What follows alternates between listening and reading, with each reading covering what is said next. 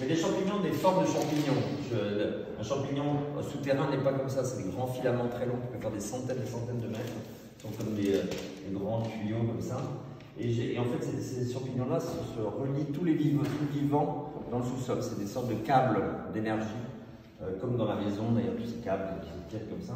Et tous ces câbles d'énergie, en fait, connectent, sont connectés à des racines d'arbres. J'ai imaginé que les champignons avaient comme racines les arbres dans l'air, et non pas le contraire.